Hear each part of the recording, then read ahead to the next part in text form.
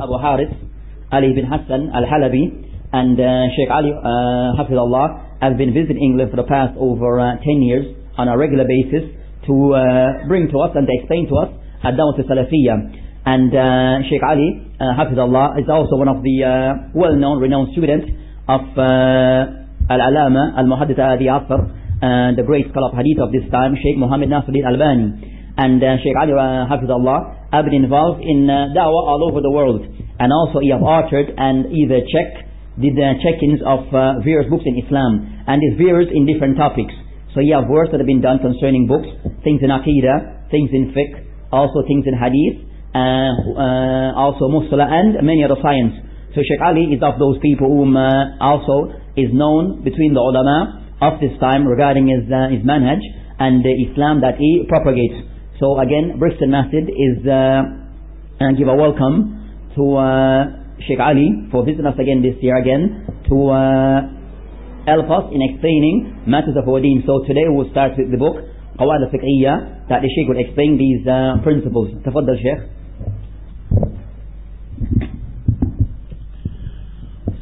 بسم الله الرحمن الرحيم إن الحمد لله نحمده ونستعينه ونستغفره ونعوذ بالله من شرور أنفسنا وسيئات أعمالنا. من يهده الله فلا مضل له ومن يضلل فلا هادي له. وأشهد أن لا إله إلا الله وحده لا شريك له وأشهد أن محمدا عبده ورسوله. أما بعد فإن أصدق الحديث كلام الله.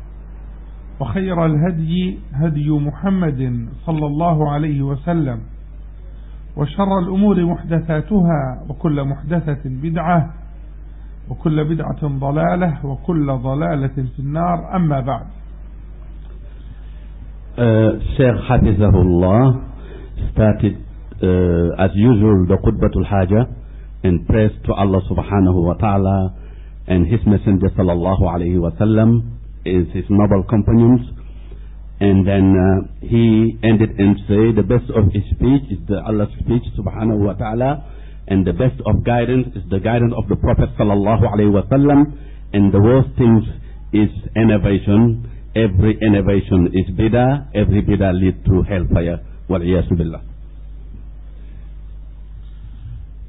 أما بعد فالعلوم الإسلامية متنوعة ومتعددة ولها جوانب كثيرة ترتبط بما يعرفنا بديننا And after that, uh, the Islamic knowledge in general has different variety of topics and subjects. So in this knowledge, uh, allow us to know uh, many things about this deen. وهذا كله إنما هو حتى يعرف المسلم دينه ولا يكون منه تدين بغير علم All this to allow a Muslim person to know about his deen and uh, follow his deen with knowledge, not to follow his deen without knowledge. وهذا فرق ما بين ديننا الإسلام الذي من الله به علينا سبحانه وتعالى وبين غيره من الأديان التي تعتمد التقليد والحجرة على العقول This is the difference between Islam and the other religions, which is most of people who follow those religions uh, just following just imitation or doing things which is not accordingly. Islam is far beyond that. لذلك جاءت نصوص القرآن والسنة في مدح العلم والتعلم ومدح أهلهما فقال تعالى قل هل يستوي الذين يعلمون والذين لا يعلمون وقال النبي صلى الله عليه وسلم من يرد الله به خيرا يفقهه في الدين That is why uh, different uh, nusus, which is either Quranic verses or ahadith from Allah and His Messenger sallallahu alaihi wasallam, urging people to seek knowledge. Allah subhanahu wa ta'ala say in the Quran, say, those who know, they not equal with those who don't know. And the Prophet sallallahu alaihi wasallam said, if Allah love his slave, make him uh, acknowledge of the deen. وما نحن فيه من أقوى الأمثلة على ما ذكرت فالفقه في الدين له علوم متعددة ترتبط به بل توصل إليه uh, that what we trying to do now is a proof of what we're saying that al-fiqh fi din to have a knowledge regarding the deen uh, there is different sub variety of issues different subjects can help the person to learn about the deen to acknowledge about the fiqh in this deen فإذا نظرنا نرى أن في القرآن الكريم أحكاما فقهية وفي السنة النبوية أحكاما فقهية كيف لنا أن نفهم أو أن نأخذ من القرآن والسنة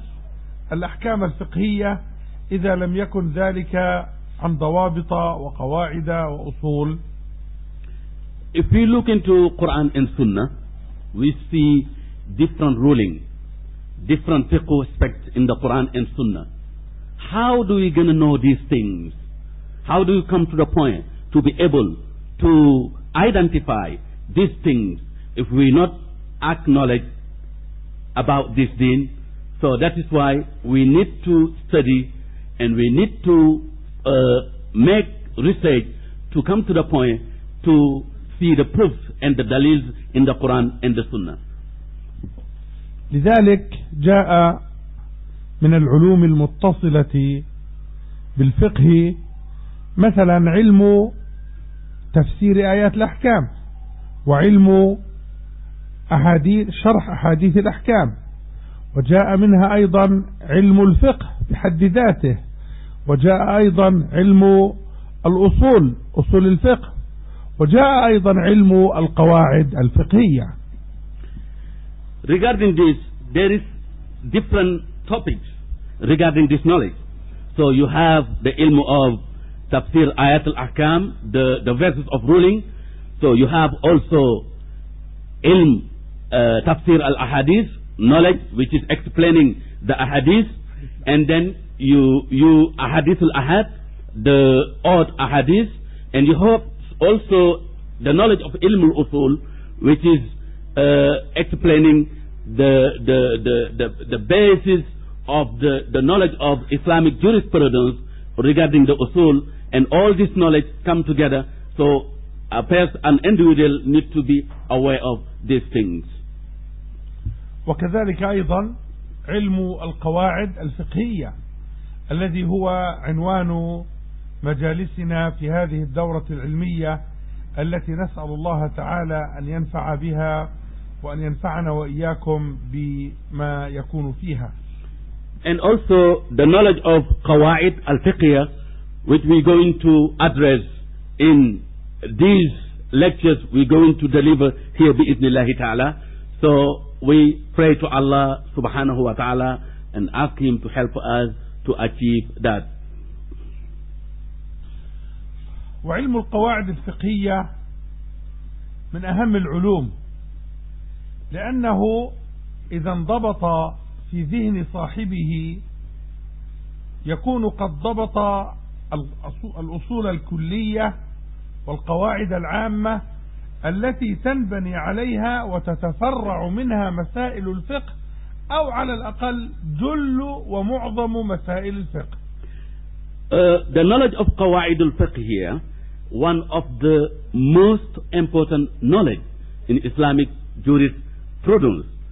For example, if this knowledge and this ruling, these rules stick to the mind of the person and he knows how to deal with them and how to identify them and how to uh, uh, uh, get uh, uh, ahkam inside them, then that is the knowledge which is the best knowledge. لذلك كان من ضبط علم القواعد الفقهية كان ميسرا على نفسه علم المسائل الفقهية التفصيلية فمن عرف قواعد الفقه العامة يستطيع أن ينزل عليها معظم المسائل الفقهية الخاصة وعليه فإنه لا يحتاج إلى أن يتتبع كل مسألة بدليلها أو بقاعدتها الخاصة وإنما القواعد العامة تهديه إلى أحكام المسائل الخاصة. Uh, regarding this, that the one who achieved in terms of knowing the dawabit al-qawaid al-fiqhiyah, for example, uh, know the basis and the ruling of the Islamic jurisprudence, the basics, this allow him to know how to rule and how to give fatwa or judgment if something happens. Does not, he doesn't need to go back, but because his background about this dawabit and qawaid allow him to be able to give general uh, uh, uh, ruling and, and ruling also in specific issue. So that allow him to, to do that.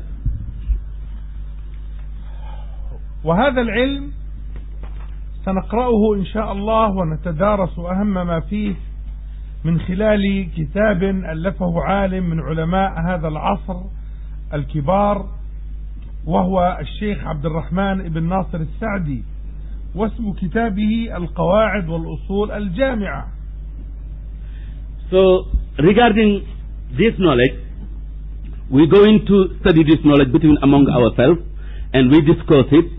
We're going to use a book written by one of the, the Salaf scholars called Sheikh Abdurrahman ibn Sa'di. May Allah be, may Allah bestow His mercy on him. Um, والشيخ السعدي هذا لمن لا يعرفه هو معلم وأستاذ الشيخ محمد بن صالح العثيمين if you don't know Sheikh Sa'di, uh, rahimahullah, he is one of the scholars who taught Sheikh Muhammad ibn Salih al-Uthaymin, rahimahumullah jami'an. The name of the kitab. القواعد والأصول الجامعة القواعد والأصول الجامعة. والشيخ السعدي رحمه الله مؤلفاته جيدة ومنضبطة وقوية لأنه اعتنى بتأصيل العلوم في مؤلفاته التي يكتبها فلم يجعل المسائل هكذا ملقاة بغير ترتيب بل رتبها وضبطها وبينها ونسقها بحيث يسهل على طلاب كتابه معرفة مراده Uh, Sheikh Sa'di books is very, very, very useful books. It's very, very good books indeed. Because Sheikh Sa'di himself, not only is a scholar, but the way he's organizing the information, the knowledge in his books, he made it in a way make life easy for the student to be able to read the knowledge, which is organized in terms of take caring of uh, the, uh, the, the, the, the general question and the other things which is linked with the fiqh Islamic jurisprudence. That is why uh, Imam Sa'di, rahimahullah, his books is very useful, is very good. وبخاصة في هذا العلم الذي هو علم القواعد الفقهية فإن له ثلاثة مؤلفات في هذا العلم الكتاب الأول كتابنا هذا واسمه القواعد والأصول الجامعة والكتاب الثاني منظومة القواعد الفقهية والمنظومة يعني الشعر أنه جمع هذه القواعد من خلال الشعر العربي بل إن له شرحا على هذا الشعر وعلى هذه المنظومة. والكتاب الثالث هو مختصر القواعد الفقهية للحافظ ابن رجب الحنبلي رحمه الله تعالى Sheikh rahimahullah uh, uh, uh, wrote different books regarding this topic. One of the books he wrote Al-Qawaid wal-Uthul al-Jami'ah and he wrote another book in a in a terms of poetry called Al-Manthum wal-Qawaid al-Fiqhiyah. in a, in a, in a poetry way. And there is another book he wrote, uh, uh, rahimahullah, called Muqtasar al-Qawa'id al-Fiqhiyya. That means summarize the, uh, the necessity of general uh, uh, uh, knowledge of fiqh. وإذ ذكرنا كتب مؤلفنا رحمه الله الشيخ بن سعدي كتبه في باب هذا العلم أعني علم القواعد الفقهية فلا بد أن نتطرق للمؤلفات الأخرى في هذا العلم وكيف نعرف أهمها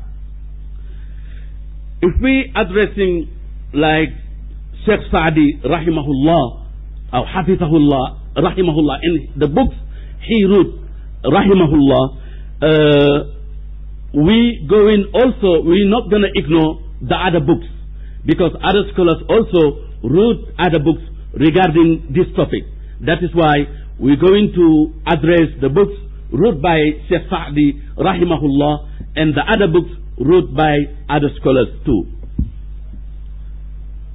فمثلا هنالك كتاب القواعد الفقهية الكبرى للحافظ ابن رجب الحنبلي من أجود وأهم الكتب العلمية في هذا الباب مثلا عندنا أيضا كتاب إيضاح السالك إلى قواعد مذهب الإمام مالك للعلامة الونشريسي. وأيضا هنالك كتاب اسمه المجموع المذهب في قواعد المذهب للإمام الحافظ العلائي. هذه الكتب الثلاثة جاءت أسماؤها تنص على مضمونها. فكل كتاب من هذه الكتب اسمه, اسمه, اسمه القواعد كذا أو القواعد في كذا فهو يدل على أنه في علم القواعد الفقهية Regarding this topic, other scholars also they wrote some books, call it Qawaid al-Fiqhiyah. For example, Ibn Rajab al-Hambali, rahimahullah, he wrote a book, he called it القواعد الفقهية الكبرى and uh, another Ansari wrote a book called القواعد الفقهية uh, uh, enlightening and explaining the fiqh issue and the fiqh ruling so Imam Al-Alai Al-Alai also wrote a book called Al-Qawaid Al-Fiqhiyah then other scholars too they wrote some books regarding this topic. وحتى نتم الفائدة نذكر نوعين من أنواع الكتب التي ألفت في القواعد الفقهية. فهنالك كتب تكلمت في علم القواعد الفقهية لكن ليست باسم القواعد الفقهية. وهي الكتب التي اسمها الأشباه والنظائر. فقد ألف في الأشباه والنظائر الفقهية الإمام السبكي وألف الإمام السيوطي. وألف الإمام ابن نجيم. هذه كتب الأشباه والنظائر كتب تتكلم في قواعد الفقه. ولكن ما معنى الأشباه والنظائر؟ الأشباه من الشبه من الشيء الذي يشبه الشيء. فالأشباه هي الكتب الأشياء التي تتشابه في معظم وجوهها. والنظائر من النظر أو النظير. النظير هو الشبيه. لكن فرقوا بين الأشباه والنظائر أن الأشباه تتكلم في المسائل التي تجتمع أو تتشابه في أكثر وجوهها والنظائر تتشابه في أقل وجوهها. هذا علم الأشباه النظائر وكتب الأشباه النظائر أيضا تكلمت في باب القواعد الفقهية. To complete the benefit, there is two different variety of books have been written regarding this topic. Uh, there is a book called قواعد الفقهية لابن السبكي. There is Al-Asbah, uh, Al-Asbah لابن السبكي and then other book لإمام سيوطي And Ibn Nujay also wrote a book regarding this topic. That what the ulama mean about al-asba and al-nadair. Al-asba means similarity. Similarity. Because al-asba talk about the things which come together and share the same issues, look like. The Nazair, so talk about the things which is less, less similarity. That is why they divided this knowledge into, this book into two different categories. Some books they call it Al-Asba, which is similar, which is similar to one another. Other books they call it Al-Nazair, which is less similarity to other books or other issues. وهنالك نوع ثالث من الكتب التي تتكلم في علم القواعد الفقهية وهي كتب الفروق. الفروق جمع فرق وهو الفرق بين كذا وكذا الفرق بين الشيء والشيء الآخر. كتب الفروق الفقهية أيضا تتكلم في باب القواعد الفقهية.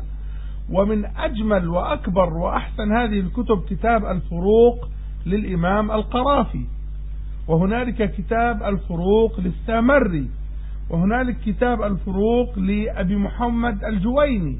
هذه من أهم الكتب التي بحثت في علم القواعد الفقهية سواء منها ما سمي بالقواعد أو بالأشباه والنظائر أو بالفروق وهي ما ذكرناه أخيرا.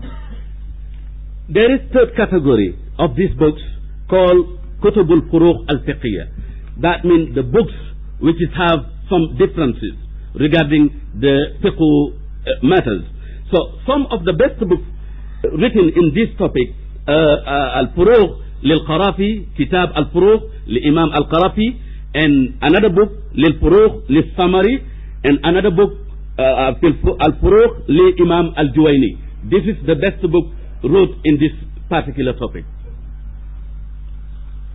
وحتى تكتمل الصورة لابد من ذكر تعاريف وشروح وإضافات تكون كالمدخل لهذا العلم لأن العلوم الأصولية سواء منها ما كان متعلقا بأصول اللغة أو أصول الحديث أو أصول الفقه أو قواعد الفقه الحقيقة أن فيها شيئا من الصعوبة. لا أقول شيء من الصعوبة حتى نتصعب بل أقول شيء من الصعوبة حتى نسهل ونيسر وتكون الفائدة إن شاء الله أقرب وأيسر على الطلاب To complete or make a, a, a, a better picture regarding this, I would like to say that some of the books, they're quite difficult to learn. They're quite hard. But I'm not saying this to put off the student because of the uh, maybe the language they use, the type of the language they use, it make it more difficult to, to detect. That is why I'm saying this. فنبدأ ذلك بتعريف هذا العلم علم القواعد الفقهية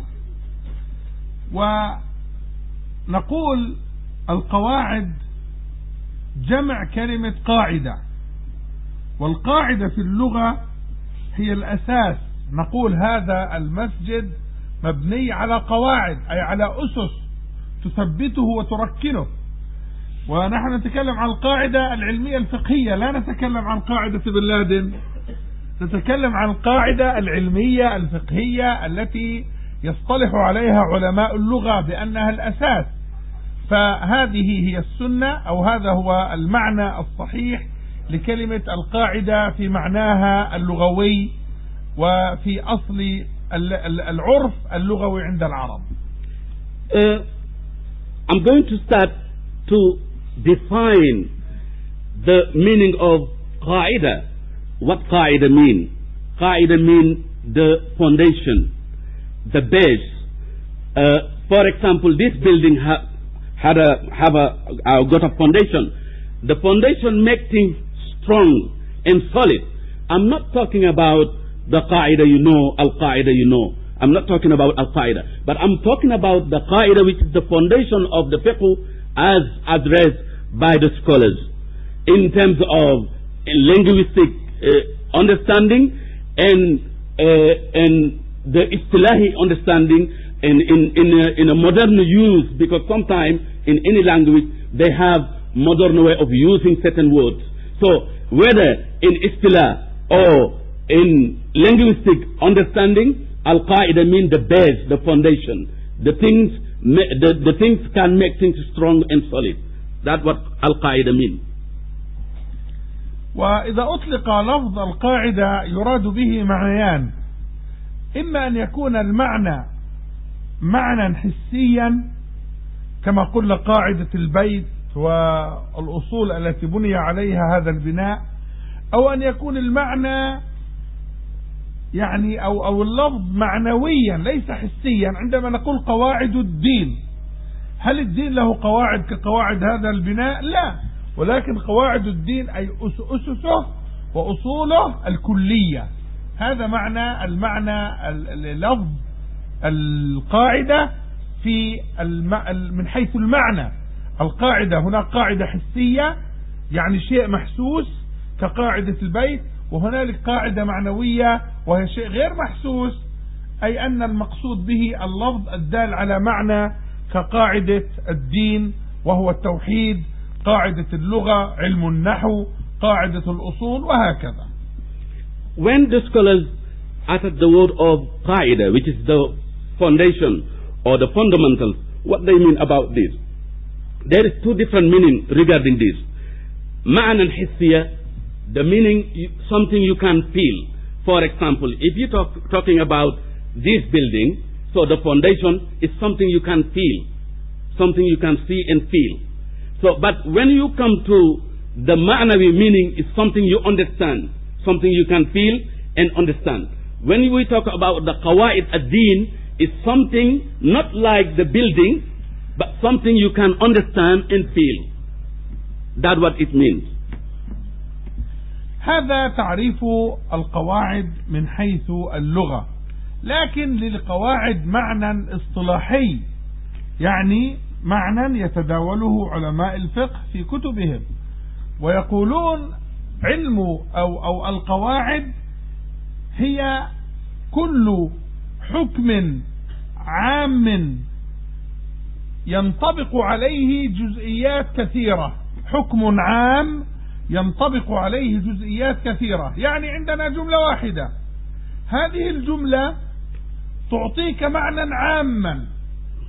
هذا المعنى العام لو أننا دققنا النظر فيه لرأيناه يندرج تحته كثير من الجزئيات والأحكام التفصيلية. نضرب مثالا يتضح به المقصود. يعني هنالك قاعدة فقهية سنتكلم عنها كثيرا. اسمها قاعدة لا ضرر ولا ضرار. لا ضرر أي في النفس ولا ضرار في الآخرين. من خلال هذه القاعدة نقول لا يجوز الدخان لأن الدخان فيه ضرر. من خلال هذه القاعدة نقول لا يجوز للمسلم أن يضرب أخاه المسلم. لماذا؟ لأن فيه ضررا. من خلال هذه القاعدة نقول لا يجوز للمسلم أن يتصرف تصرفا يترتب عليه إساءة أو مفاسد لأنه لا ضرر ولا ضرار. إذا عندنا حكم عام أغلبي يعني فيه أغلب الأحكام ولو بجملة واحدة تندرج تحته مسائل وجزئيات كثيرة. So this is the, the, the definition of uh, qaida in linguistic side But in istilahi, in the use of the scholars, that means every single hukm, every single judgment or ruling in general, which can contain other branches. You have one ruling, but there is so many things can come out of that type of ruling. So that in the use of the, the scholars in, in, in, in, terms of saying in, in a way of istilahi, is every single ruling contain other issues at the same time. For example, let me give you example here. When we say the qaida, the base of or the fundamental of la darara wa la dirar. So there is so many rulings regarding this can, can come out of this. For example, do not harm yourself and do not harm others. Regarding this, then we say there is a qaida fiqhiyah. For example, it's not lawful for the Muslim so to use dukhan, which is, uh, which is cigarette, to, to smoke. So, because you may harm yourself and harm others. Also, under this, uh, uh, uh, uh this principle, we say also, it's not lawful for the Muslim to hit his Muslim brother. Because it's not lawful. Then, under this qaida, there is so many things. you can produce.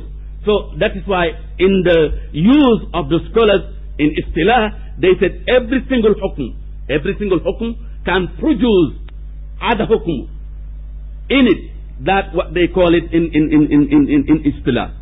So this is the example the Sheikh gives, قاعدة لا ضرر ولا ضرار. قد يرد هنا سؤال يسأله بعض الطلاب النبهاء فيقول ما الفرق بين قواعد أصول الفقه وقواعد الفقه؟ هل هنالك فرق بين قواعد الفقه وقواعد الأصول أو قواعد أصول الفقه؟ نقول نعم هنالك فرق بين قواعد الفقه وقواعد أصول الفقه. فقواعد أصول الفقه هي القواعد التي تندرج تحتها أدلة الاستنباط الكلية. أدلة الاستنباط الكلية. يعني نحن في أصول الفقه نفهم القواعد التي تعرفنا الفقه. نفهم القواعد التي تعرفنا أحكام الفقه. مثلا عندما يقول علماء الأصول الأصل في الأمر الوجوب. هذه قاعدة تتكلم عن كيفية استنباط الأحكام. ولا نستطيع أن نستنبط منها حكما. هذه تدلنا كيف نستنبط من النص الأحكام. بينما القاعدة الفقهية هي قاعدة كلية تندرج تحتها مسائل فقهية عامة.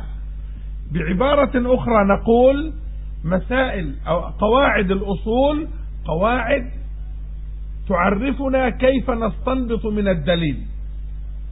وقواعد الفقه هي القواعد المستنبطة من الدليل. القواعد المستنبطة من الدليل. وسيأتي الآن يعني شرح أكثر بعد أن نترجم هذه الجزئية. نعم.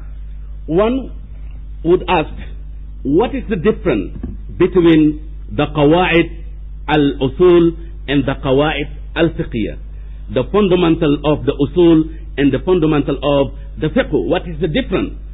So, the difference is that uh, the qawaid al-usul, uh, the fundamental of the usul, uh, come out of it the, the, the, the proofs in general al-adilla تندرج تحتها al-adilla الكلية so in qawaid al-usul all the, the, the proof come together but to to apply it so you use the fiqh.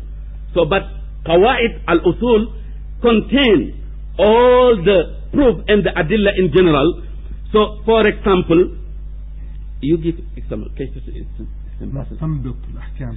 So we, we learn from this how do we uh, uh, uh, produce the, the, the, the, the ruling of the fiqh from the qawaid al-usul.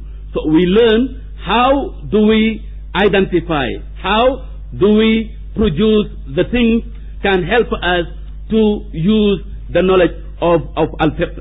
So, but when we come to fiqh itself, fiqh itself give us uh, uh, general uh, issues in detail. In detail. Hmm?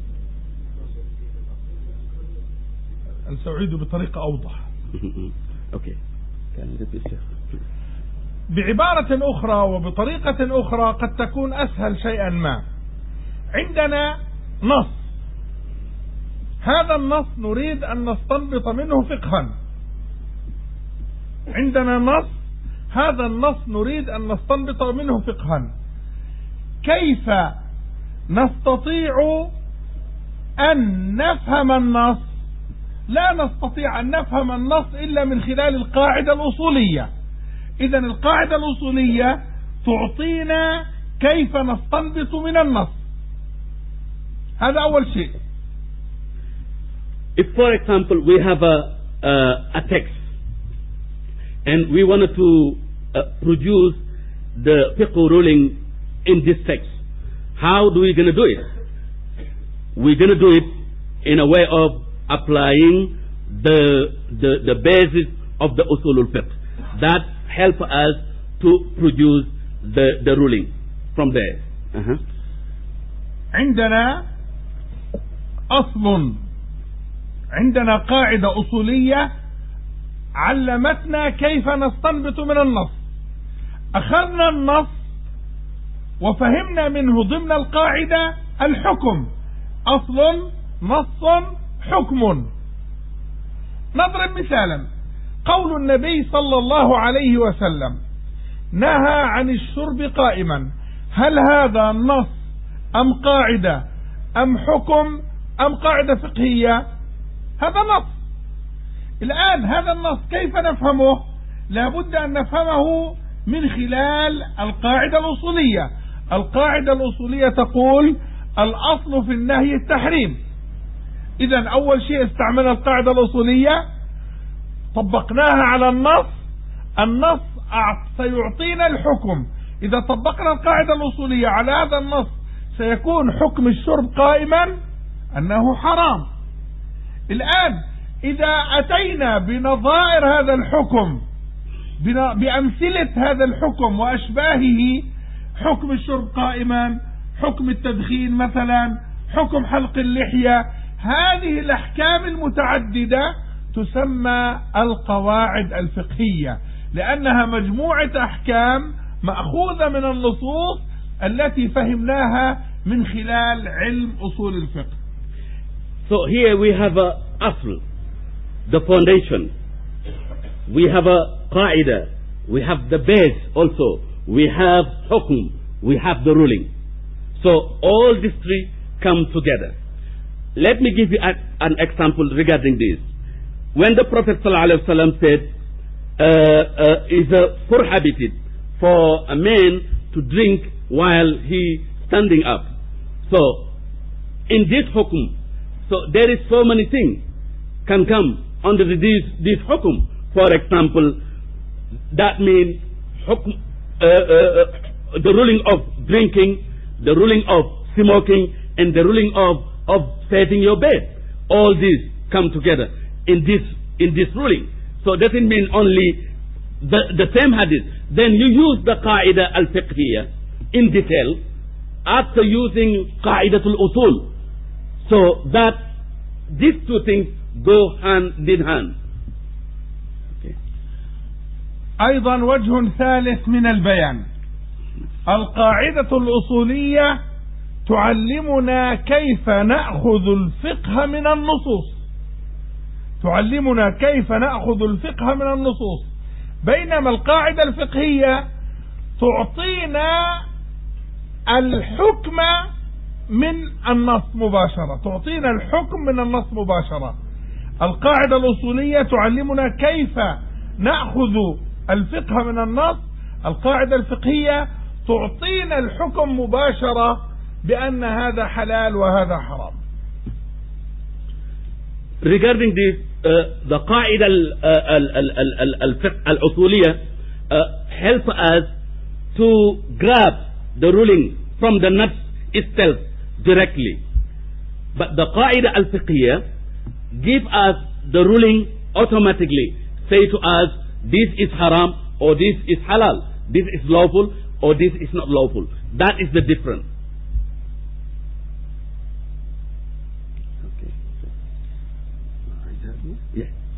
القاعدة الأصولية تعلمنا كيف نفهم النص لنأخذ منه فقها. القاعدة الفقهية تعطينا الحكم الفقهي مباشرة. وسأضرب على ذلك مثلا تطبيقيا الآن. The قاعدة الأصولية teaches us how do we gonna get the, the, the حكم of the issue from the text itself. But the قاعدة الفقهية teaches us automatically how do we apply the text and explain to us whether this is haram or this is halal. That is the difference between Al-Qaeda al-Usuliyah and Al-Qaeda al-Fiqhiyah. Al-Qaeda al-Usuliyah, we learn from it. From the nuts, how do we use the text in terms of knowing whether this is lawful or not lawful. So Qaeda al-Fiqhiyah teach us also, we take the ruling from there straight away and knowing that this is haram and this is halal or this is makruh or this is mustahab. نضرب على ذلك مثالا أيضا من باب الزيادة في الإيضاح. عندنا قاعدة أصولية تقول الأصل في الأمر الوجوب. هل نستطيع أن نأخذ من هذه القاعدة الأصولية حكما أم لابد أن ننزل عليها النص لنأخذ منها الحكم؟ لابد أن ننزلها على نص لنأخذ منها الحكم. فهذه قاعدة أصولية. أما القاعدة الفقهية فمباشرة نستطيع أن نأخذ منها فقها دون أن نحتاج إلى نص. مثلا قول العلماء في قاعدة الأمور بمقاصدها. هذه قاعدة فقهية وليست قاعدة أصولية. الأمور بمقاصدها.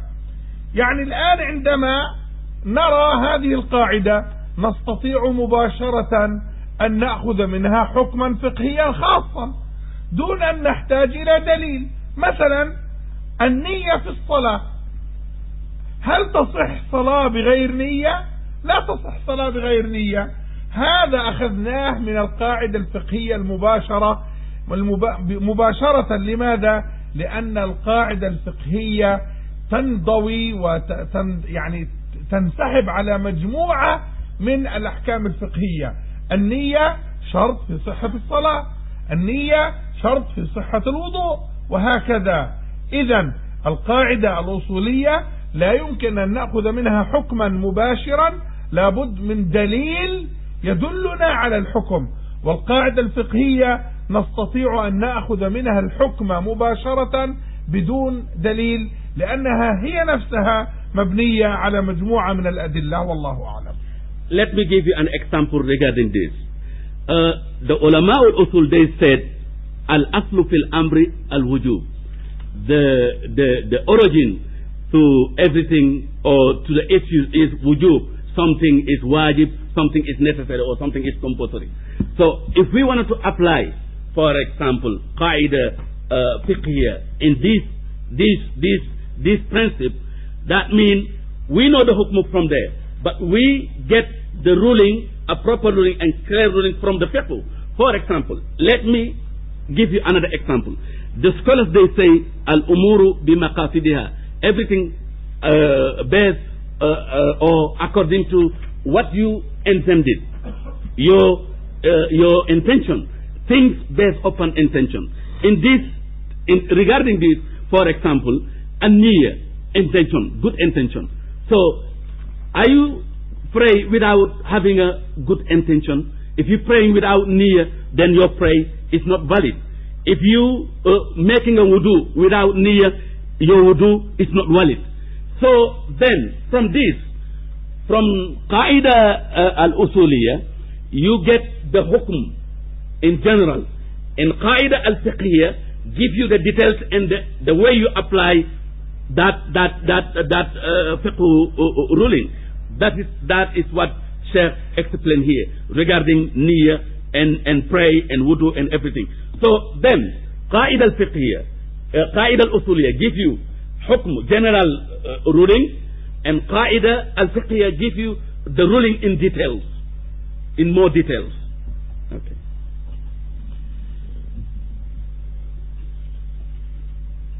أنواع القواعد الفقهية. القواعد الفقهية أنواع. لابد قبل أن نخوض جزئياتها ومفرداتها أن نعرف أنواعها. فأعلى نوع وأوضحه هو ما كان منصوصا بالدليل. قاعدة فقهية منصوصة بالدليل. مثل قاعدة لا ضرر ولا ضرار. فحديث فلا ضرر ولا ضرار هذا نص حديث. نص حديث عن النبي صلى الله عليه وسلم يقول لا ضرر ولا ضرار والحديث مروي في مسند الإمام أحمد وسنن ابن ماجه عن عبادة بن الصامت وغيره من الصحابة رضي الله عنهم. هذه أقوى أنواع القواعد الفقهية قاعدة فقهية مبنية على النص منقول عن النبي صلى الله عليه وسلم. So qawaid al-fiqhiyah uh, have different uh, categories. The highest one is the one with the nas, is the, the ruling uh, based upon the text, either uh, text from Quran or text which is hadith from the Prophet sallallahu alaihi wasallam. So is the qaida linked with the proof? For example, the qaida la darara wa la dirar. Uh, uh, do not harm yourself or harm this qaida uh, uh, uh, with the dalil from the hadith of the Prophet ﷺ reported by uh, uh, Osama ibn Thabit. Ubadah ibn Thabit. Ubadah ibn radiallahu anhu. And in this qaida, so you have qaida fiqhiyya, qaida usuliyya, with the nafs, with the text, either the text from Quran or from the hadith of the Prophet sallallahu alayhi wasallam. This one is the highest one. أيضا هنالك قواعد أو النوع الثاني من القواعد القواعد المستنبطة. تلك قاعدة مبنية على نص والثانية قاعدة مبنية على استنباط من النص. تلك لفظ القاعدة لفظ النص. هذه لفظ القاعدة مأخوذ من النص وليس هو لفظ النص. So the second one is the qawaid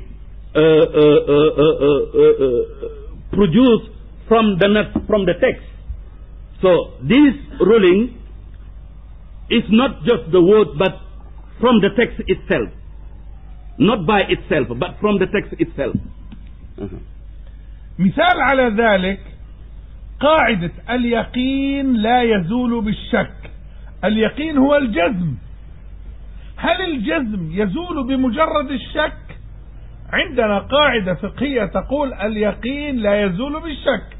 هذه القاعدة مبنية على حديث استنبطت منه وهو حديث عبد الله بن زيد رضي الله عنه وقد رواه البخاري ومسلم.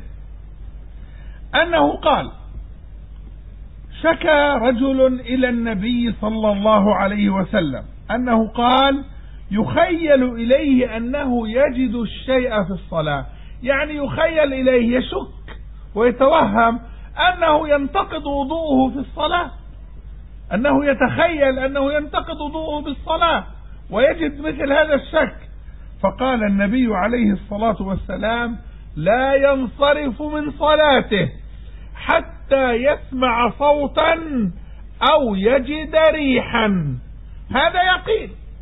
بينما الرجل كان يسأل عن مجرد شك يقول يخيل إليه أنه يجد شيئا في الصلاة. فالرسول عليه الصلاة والسلام أرشده أن هذا الشك لا يزول الحكم بمجرده وإنما يزول الحكم باليقين. يزول الحكم باليقين. نعم. The second one is Al-Qawaid Al-Mustanbata is the fundamentals has been produced from the Nas. Uh, let me give you an example. Uh, the Qaida of Al-Yaqin La Yasulu Bisak. For example, certainty cannot be removed by having a doubtness about something. For example, this Qaida, for example, from the Hadith Abdullah ibn Sayyid uh, radiallahu anhu, he said, there is a man who came to the Prophet ﷺ and complained that it's like when he prays, it's like something comes to him telling him that you break your, your wudu, you break wind, then your wudu is not valid. So, and the Prophet ﷺ said to, to him, لا ينصرف من الصلاة حتى يسمع صوتا. He, do, he does not allow, it's not lawful for him to leave the prayer until he heard a voice, a sound. For example, if the person makes sure that he break wind, then that will make his wudu invalid. Otherwise, just doubtness or something just come to your mind cannot make you say, my wudu is not valid. Then certainty cannot be removed by doubtness. If there is a certainty, then there will be no doubtness. Unless you have a clear proof that this is what happened, then you build from there. So in this qaida, then al-yaqeen la yazulu bisak. Certainty cannot be removed by doubtness. This is what the ulama ul usul said. وهنالك نوع ثالث من أنواع القواعد الفقهية وهي القاعدة الفقهية التي لا دليل عليها بعض العلماء قد يذكر قاعدة لكن هذه القاعدة لا دليل عليها هذه لا تقبل. لماذا؟ لأنه لا دليل عليها. وترى بعضا منها موجودا في كتب القواعد الفقهية. فنحن ننبه عليها حتى نحذر منها. والنوع الرابع قواعد فقهية محل خلاف بين أهل العلم.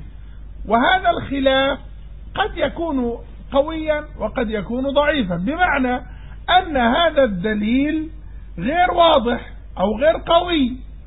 وبالتالي فهذه القاعدة الفقهية المبنية على آه، دليل غير واضح أو غير قوي لا يستدل بها أي أحد وإنما يستدل بها الذي يرجح صحتها فحينئذ ترجع إلى النوعين أو الأولين أو إلى النوع الثاني وهو المستنبط القاعدة الفقهية المستنبطة من النص.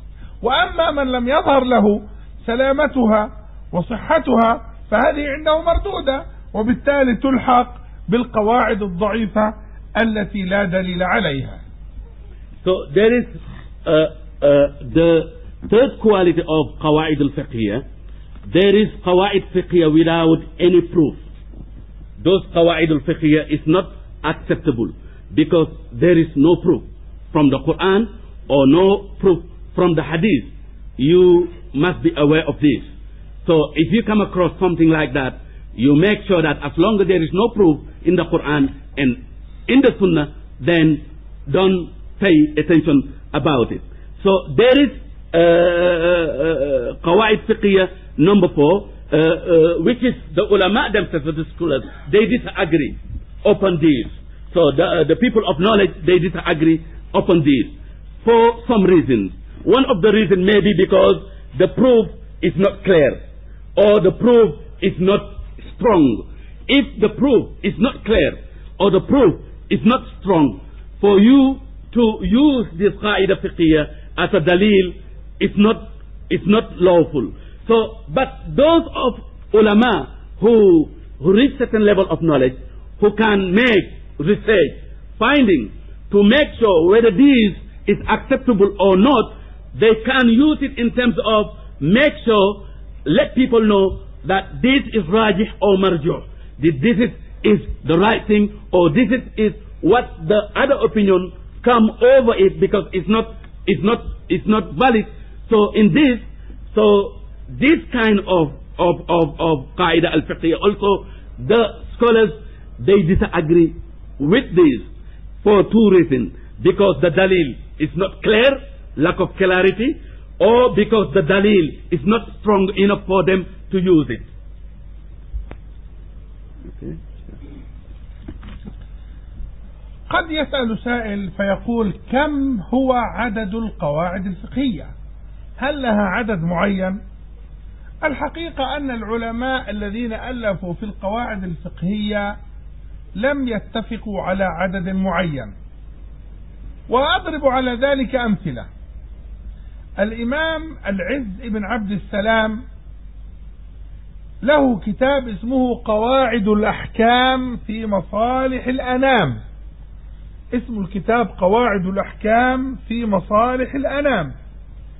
قواعد الأحكام. في مصالح الأنام. هذا الكتاب بناه وهو كتاب في القواعد الفقهية بناه مؤلفه على أن قواعد الفقه قاعدة واحدة. أن الفقه مبني على قاعدة واحدة وهي قاعدة تحصيل المصالح لبني الإنسان. تحصيل المصالح لبني الإنسان. بمعنى أن هذه القاعدة تجمع القواعد كلها.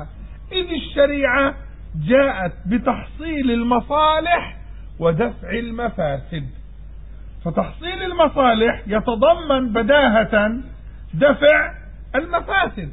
بنى كتابه كله على هذه القاعدة وضرب عليها أمثلة كثيرة وكثيرة جدا تلتقي مع القواعد الفقهية التي ذكرها العلماء وذكرنا نحن بعضها في مجلسنا وسنذكر بعضا آخر في مجالس أخرى إن شاء الله. One would ask, how many uh, qawaid al-fiqhiyah then? How many of them? So, there is so many. Uh, some of the scholars, they wrote a book, books regarding this. Let me give you an example. Al-Imam Izzuddin ibn Abd salam wrote a book called Qawaid al-Ahkam fi Masalih al-Anam. The, the, the fundamental of the ruling to the benefits of the human beings. So, he himself explained and he said the uh, fundamentals of the fiqh which the qawaid al-fiqhiyah is one. Because sharia islamiyah come to do two these things come to bring benefit to the humanity in general and come also to to move away. Anything can harm them and anything can uh, uh, uh become uh, uh, unbeneficial to them. So regarding this, he himself, rahimahullah, he said, قواعد الفقهية is one regarding this. ومن العلماء من جعل القواعد الفقهية التي تقوم عليها الشريعة أربع قواعد. فذكروا القاعدة الأولى اليقين لا يزول بالشك وأشر إليها. وسيأتي أمثلة كثيرة وشرح آخر لها. ومنها قاعدة العادة محكمة. أي ما اعتاد عليه الناس من أمور فإنه يكون محكما ما لم يخالف الشرع. هذه قاعدة ثانية من القواعد التي ذكرها العلم. قاعدة ثالثة المشقة تجلب التيسير. المشقة هي الصعوبة والعسر في الأشياء. تجلب التيسير أي تستدعي أن يكون هنالك تيسير يقابل هذه المشقة. والرابعة لا ضرر ولا ضرار بعض أهل العلم جعل القواعد الفقهية أربع قواعد هي هذه التي ذكرناها So some of the ulama they said the qawaid al-fiqhiyya are four for example uh, they said al-ada muhakkama what that mean that mean uh, uh, culture culture as long as this culture does not contradict with Islam does not bring bid'ah or anything, uh, something lawful, then it's okay. But if the culture against Islam, then there will be no, nobody gonna apply it. So then, al-ada muhakkama, that means any culture can be uh, tested or examined according to Islam, uh, to Quran and Sunnah. If this culture against Quran and Sunnah, then uh, nobody going to pay attention to it. So this is one qaida. Another qaida, uh, the ulama said al-masaqqa, tajlibu taysir, that hardness, uh, hardness sometimes bring ease. For example, in this qaida also the ulama, they, they establish some of uh, fiqh ruling. So, and another qaida, la darara wa la dirar, as we mentioned before. وبعض أهل العلم زاد على هذه القواعد الأربع قاعدة خامسة فقال الدين مبني على قواعد خمسة. فذكر الأربعة وذكر القاعدة الخامسة وهي الأمور بمقاصدها. وقاعدة الأمور بمقاصدها بعض أهل العلم يعبر عنها بدليلها أو بالنص التي الذي أخذ منها وهو قول النبي صلى الله عليه وسلم الأعمال بالنيات. الأعمال بالنيات الأمور بمقاصدها. لأن مع النية معناها القصد. نويت كذا أي قصدت كذا. فهذا أيضا من أهل العلم من جعل القاعدة الخامسة في القواعد قاعدة الأعمال بالنيات أو الأمور بمقاصدها فصارت عنده القواعد خمسا. Also, some of the scholars, they add uh, uh, uh, Uh, uh, uh, another qaida, which is the fifth one, which is, as I mentioned to you before, al-umuru bimaqasidiha. Everything bears upon what the person intended or intention. So this link with the hadith al-a'mal biniyat. Every single deed bears upon intention and a person going to be rewarded according to what he intended. I mean, this is the, the fifth qaida mentioned by the ulama regarding this.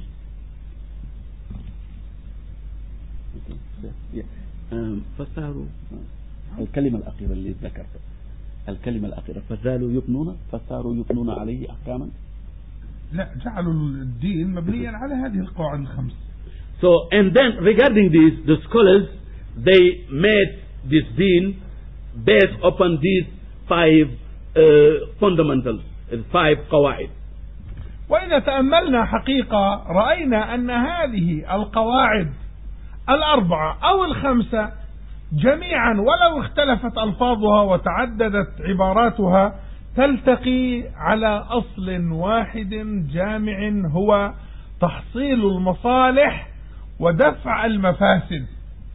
فالذين قالوا الدين يقوم على قاعدة واحدة لم يخالفوا من قال من قال الدين يقوم على خمس أو على أربع. ولم يخالف من قال إنه أكثر من ذلك. لأن تلكم التفريعات تؤيد المصلحة وتدفع المفسدة فرجعت إلى أصل جامع واحد قوي جدا وهو تحصيل المصالح ودفع المفاسد. If you contemplate or you reflect upon these qawaid, you see uh, the differences or different opinion. But at the end of the day, uh, these mean that uh, they come to the point, agree upon these things.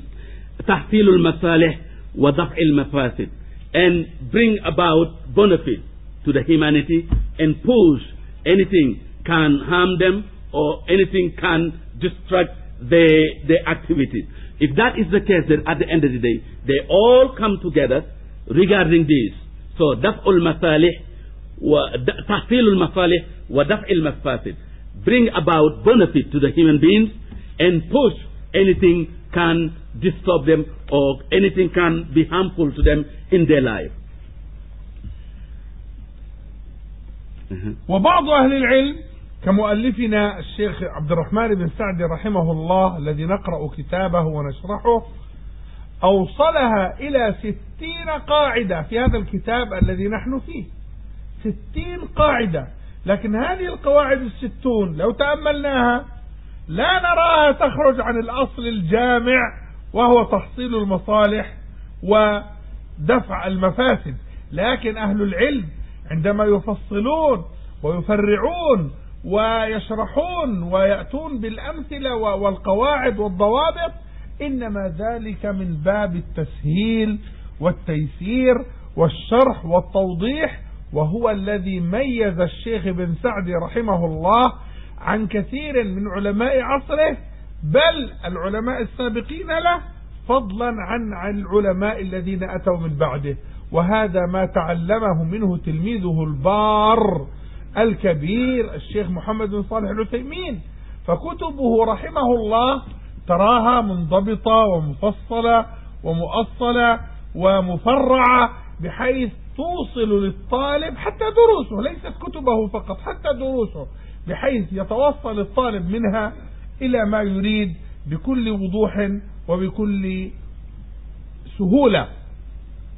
Some of the scholars uh, like uh, uh, Sheikh Abdul Rahman ibn Sa'di uh, whom we use his book rahimahullah he extend these qawaid these fundamentals to 60 to 60 but at the end of the day that all come together to two fundamentals تحصيل المصالح ودفع المفاسد bring about benefit and pose anything which is unbeneficial so if the ulama for example giving explanation in detail giving details explaining explaining the reason why they're doing this because they want to make things easy for others to be able to understand Islamic jurisprudence, which is al-fiqh al-Islami. Also to be able to understand usul al-fiqh at the same time.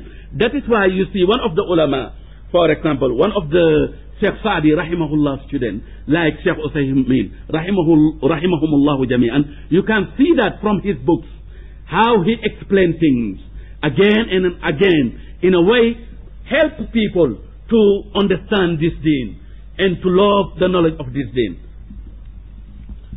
مع أنه في كتابه الآخر وهو نظم القواعد الفقهية وشرحها لم يوصلها إلى هذا العدد بل لعله لم يزد على ثلاثين أو أربعين قاعدة فهذا دليل أن العلماء قد يجمعون ويضمون بعض القواعد أو قد يذكرون بعضها مستغنين عن بعض آخر فهذا يبين أهمية الكتاب الذي نحن فيه من حيث أنه لعله من أكثر الكتب تفريعا للقواعد الفقهية So uh, some of the ulama like uh, uh, Sheikh Saadi rahimahullah, he wrote another book. Even he didn't extend this qawaid to 60, maybe less than 60, maybe 40. That's so as that the ulama sometimes they use in certain issues they use certain qawaid and in other issues they don't use them all.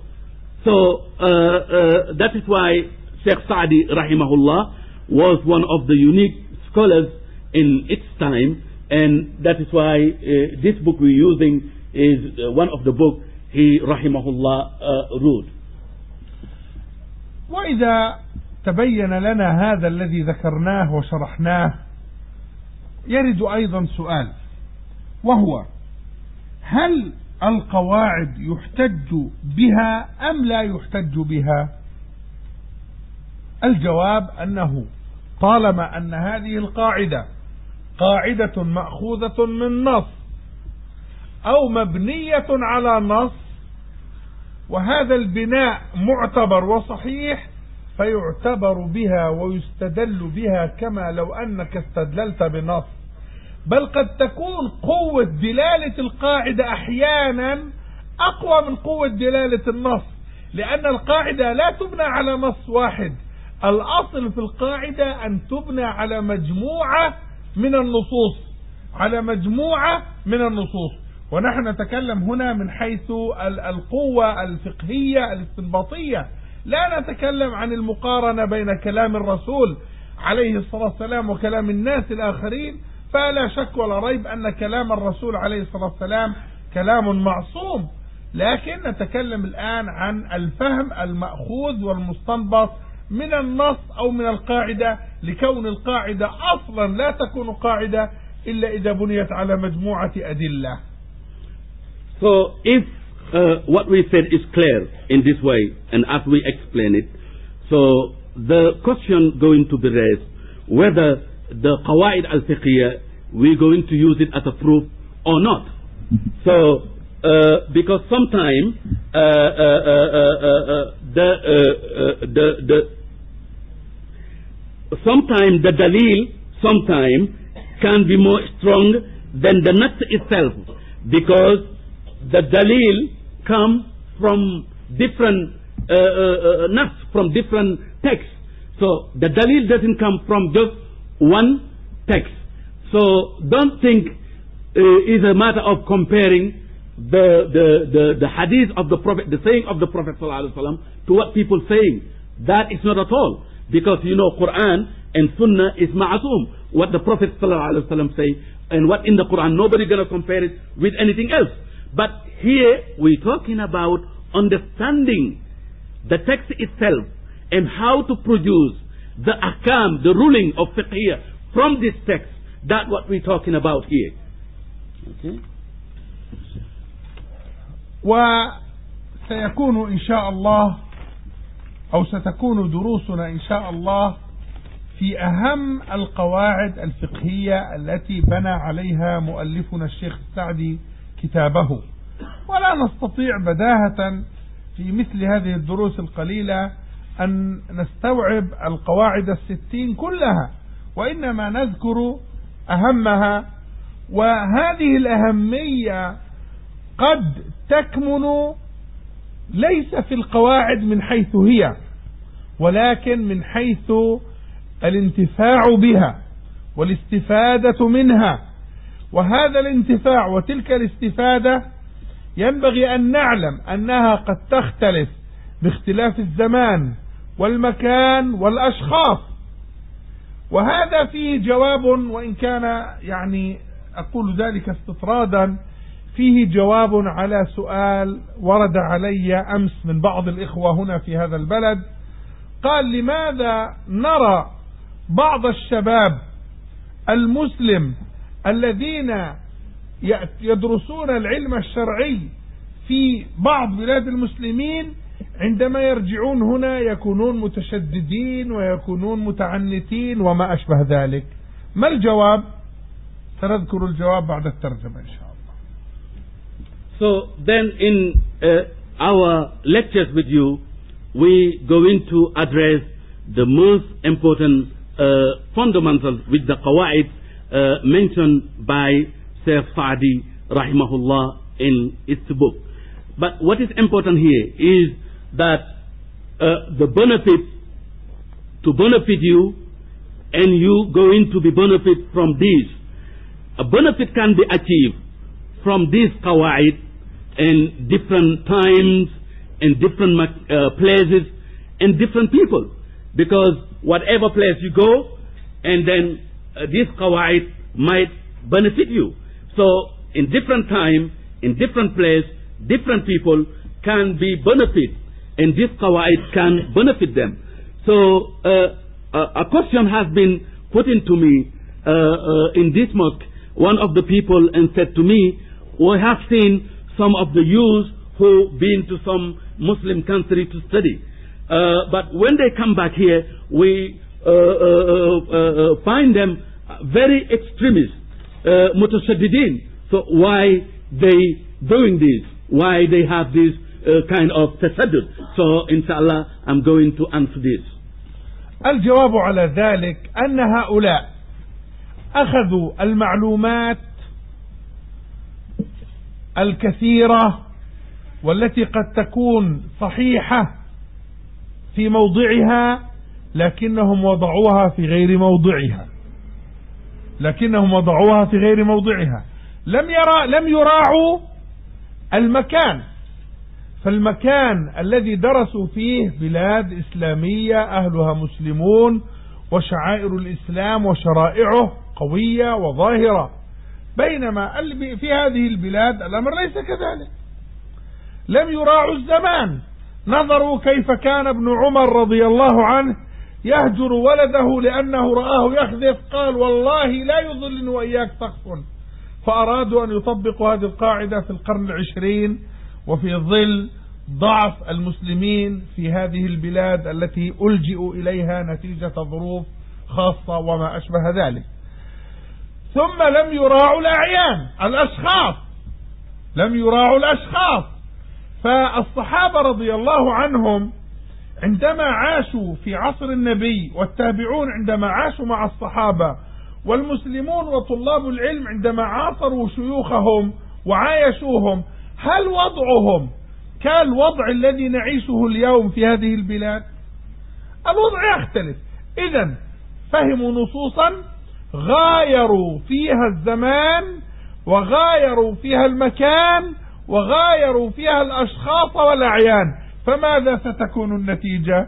ستكون النتيجة أن هذا الفقه ليس هو الفقه الحق الذي يجب استعماله ويجب تطبيقه لأن الفقه الحق مبني على تحصيل المصالح ودفع المفاسد وفي هذا القدر كفاية.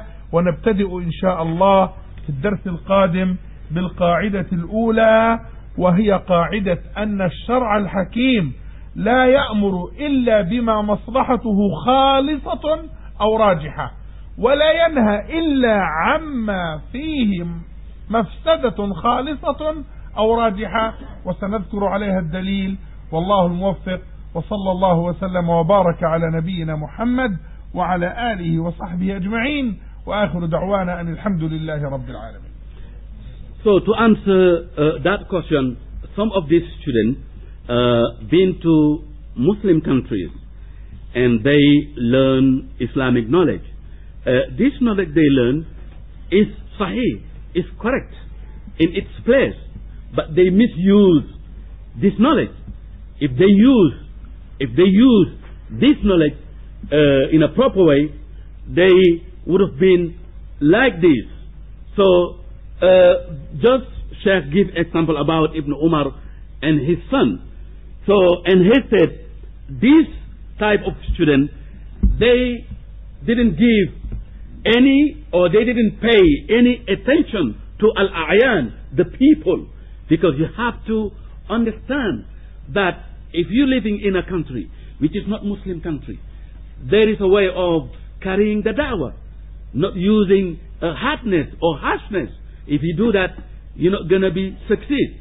So he said, rahimahullah, uh, hafizahullah, those students in the time, whether in the time of the Prophet or the time of the ulama salaf, those students who sit down with the shuyukh, who learn from them, who understand the deen and know how to apply the text, not to use the text in a wrong way or not to have a, a wrong understanding in the text, they always, you know, their time is the best of the time because Sharia Islamia always, never, never order people to do something unless what Sharia Islamia order is for them to do it because the benefit is there.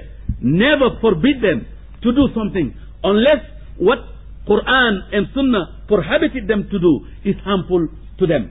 So what I'm saying is that they need to understand the situation in their time and apply the knowledge accordingly.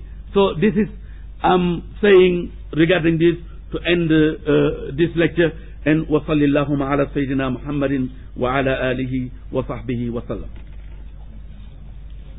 إذا أحد عنده شيء من السؤال وإن كان ما ذكرناه من مقدمات علمية قد يكون فيها شيء يعني من العسر مع محاولتنا الشرح وإعادة الشرح لكن إن شاء الله في الدروس القادمة نستطيع أن نفهم ونستوعب الصورة بطريقتها العملية أكثر. وأنا ألخص القضية بعبارة واحدة آه، وهي قضية الفرق بين القاعدة الأصولية والقاعدة الفقهية فأظنها أكثر شيء قد يكون عسر فهمه. أقول باختصار شديد جدا ودون يعني تفصيل. القاعدة الأصولية تعيننا على كيف نفهم النص. كيف نفهم النص. القاعدة الفقهية تعيننا على ماذا نفهم من النص. باختصار شديد. إذا أردنا أن نعرف كيف نفهم من كيف نفهم النص نسلك قواعد الأصول. إذا أردنا أن نفهم من النص ونستنبط منه نأخذ قاعدة الفقه هذا باختصار شديد وهو عند التأمل سهل ويسير جدا إن شاء الله I just wanted to give a pacific summary regarding قاعدة الأصولية and قاعدة الفقهية. القاعدة الأصولية help us to understand the text. القاعدة الأصولية the fundamental of the usul help us to understand the nas, the text itself. So, Al-Qaeda al-Fiqhiyya help us so to so as what we understand, the things we understand from the text. We get that from the Qaeda al-Fiqhiyya. The Qaeda al-Usuliyya help us and to understand the text itself. Al-Qaeda al-Fiqhiyya give us the details and the things we understand from the text itself. جزاكم الله خيرا وبارك الله فيك تفضل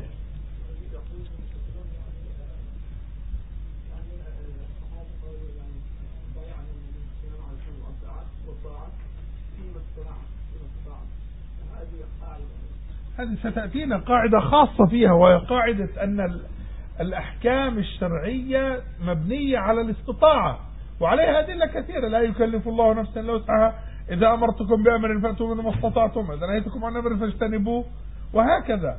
فهذه لها قاعدة خاصة يدل عليها الحديث الذي ذكرته. وعليه طبعا أمور كثيرة. يعني وكان يلقننا فيما استطعت. إنسان عامي رأى خطأ من السلطان هل يستطيع أن ينصحه؟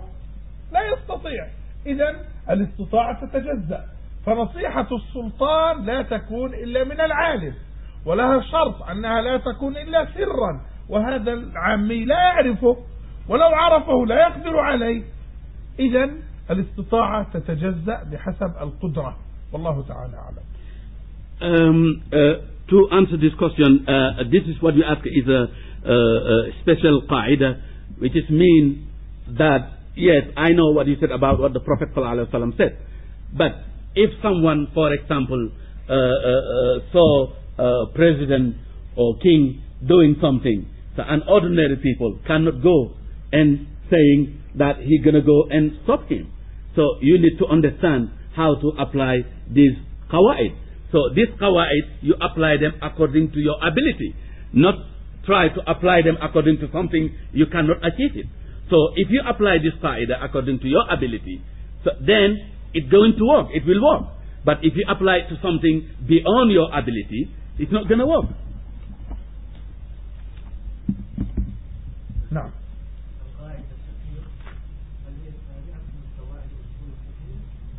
لا يمكن أن نصل إلى القاعدة الفقهية دون أن نمر بالقاعدة الأصولية لأن القاعدة الأصولية تعيننا كيف نفهم من النص فهمنا النص أخذنا منه حكما فقهيا. مجموع الأحكام الفقهية هو القاعدة الفقهية. إذا عندنا أربع مراحل. قاعدة أصولية. نص حكم مأخوذ من النص. مجموعة أحكام فقهية تكون هي القاعدة الفقهية.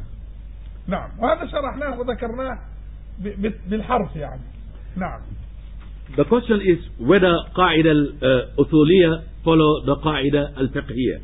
And Sheikh uh, Hafizahullah said that uh, you cannot have an understanding of Qaida al-Fiqhiyah unless you come through Qaida al-Usuliyah. Because Qaida al-Usuliyah help us to how do we understand the text itself. So when we understand the text and understand the hukm there, and then we apply to the Qaida al-Fiqhiyah. So uh, uh, this is uh, an, a qaida al-fiqhiyya means what we understand from the text, from the qaida al-usuliyya, and we apply it. Okay?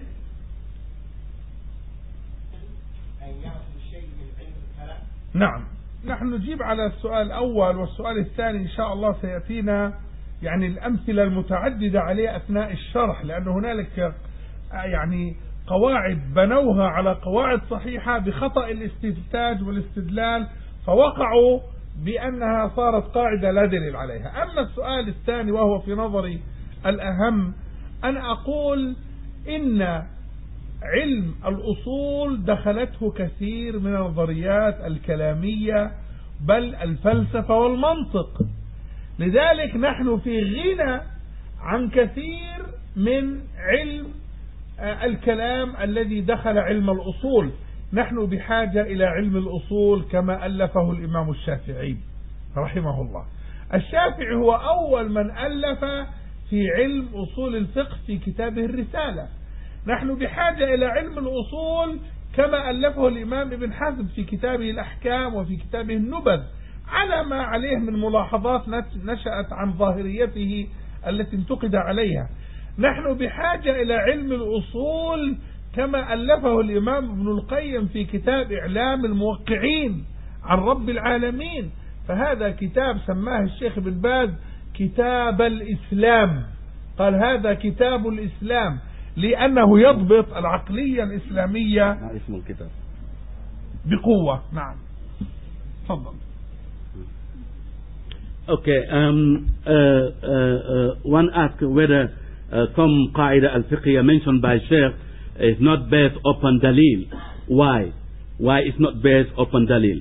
Sheikh Hafizahullah, he said that because usul al-fiqh uh, has been affected by the philosophies, the philosopher and other uh, people of kalam.